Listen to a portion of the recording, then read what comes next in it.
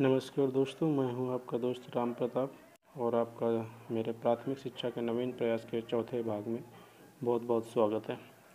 एक गुजारिश दोस्तों, अगर आपने मेरा चैनल अभी तक सब्सक्राइब नहीं किया है तो चैनल सब्सक्राइब कर लें, क्योंकि मैं यह प्रक्रिया अब लगातार चालू रखूँगा और सहायक शिक्षा अध्यापक के जितने भी सब्जेक्ट्स के इम्पोर्टेंट लेक्चर्स होंगे या वीडियोस होंगे, मैं बनाता रहूँगा और आप लोग तक भेजता रहूँगा।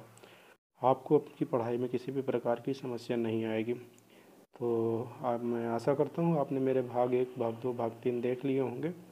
अगर नहीं देखे तो आप उन्हें जाकर देख लीजिए, ताकि आपको आने वाले टाइम पे किसी प्रकार की कोई भी प्रॉब्लम ना हो। चलिए दोस्तों, यहाँ पर कुछ इंपॉर्टेंट क्वेश्चंस का कलेक्शन किया है मैंने प्रारंभिक शिक्षा के नवीन प्रयास के। चलिए उसके कुछ क्वेश्चंस के बारे में जानते हैं। पहला क्वेश्चन है दोस्तों, यशपाल कमेटी की स्थापना कब हुई? तो उन्नीस सौ बानवे से तिरानवे में हुई। दूसरा क्वेश्चन है यशपाल कमेटी गठित करने का मुख्य उद्देश्य क्या था? तो छात्रों पर पढ़ाई का बोझ कम करने के लिए यशपाल कमेटी गठित की गई। तो जैसा कि आप जानते हो दोस्तों कि आजकल छात्रों पर पढ़ाई का काफ़ी ज़्यादा बोझ रहता है। तो यशपाल कमेटी उस समय इसीलिए गठित करी गई थी कि जब बच्चे जो हैं पढ़ाई को एक अपना शौक़ समझें और उन पर किसी भी प्रकार का बोझ ना हो।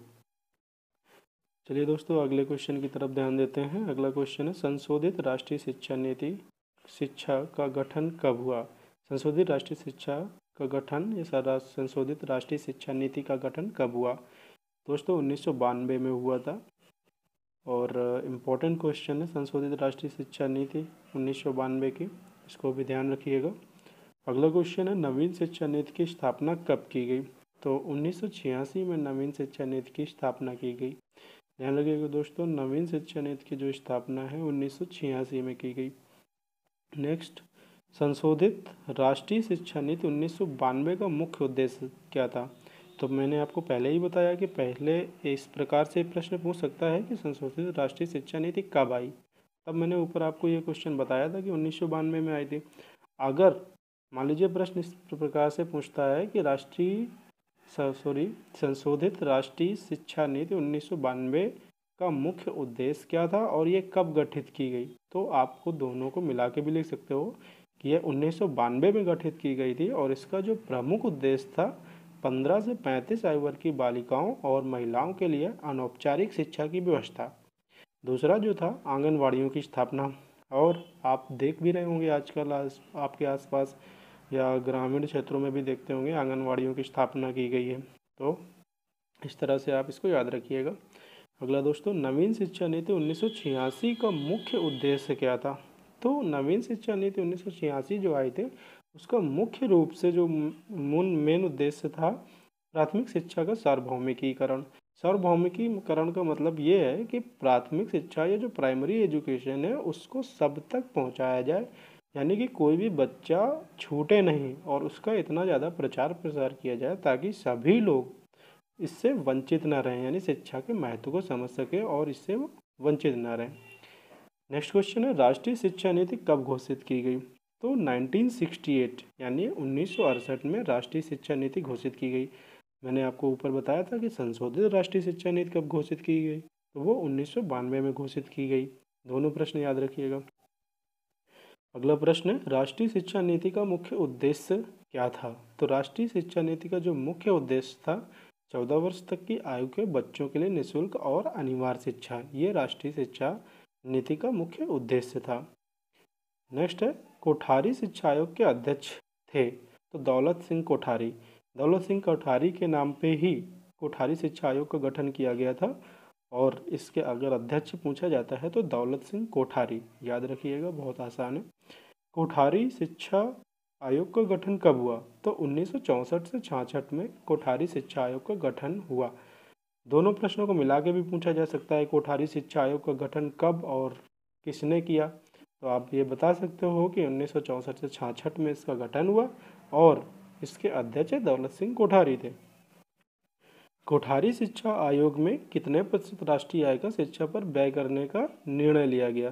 तो दोस्तों, कोठारी शिक्षा आयोग में छः प्रतिशत, यानी पूरी जितनी भी राष्ट्रीय आय होती है, उसका छः प्रतिशत जो होगा, शिक्षा पर व्यय किया जाएगा। नेक्स्ट दोस्तों, शिक्षा की सार्जेंट योजना कब प्रारंभ हुई?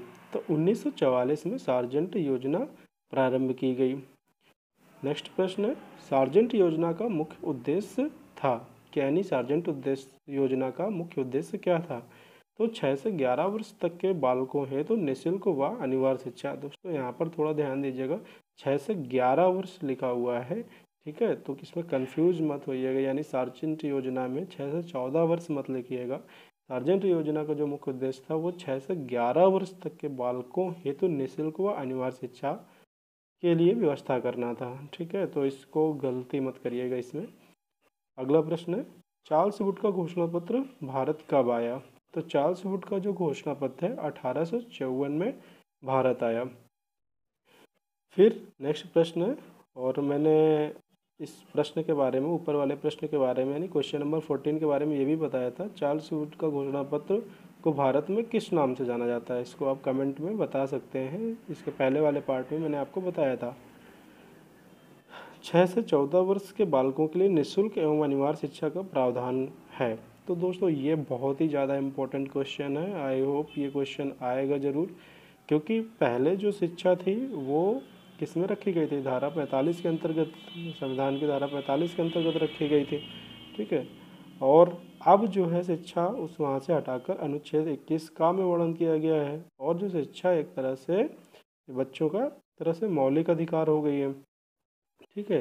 यानी कि अब ये नहीं कह सकते हो कि सरकार कोई हमें दान दे रही है या शिक्षा दे के बहुत बड़ा एहसान कर रही है, ऐसा कुछ नहीं।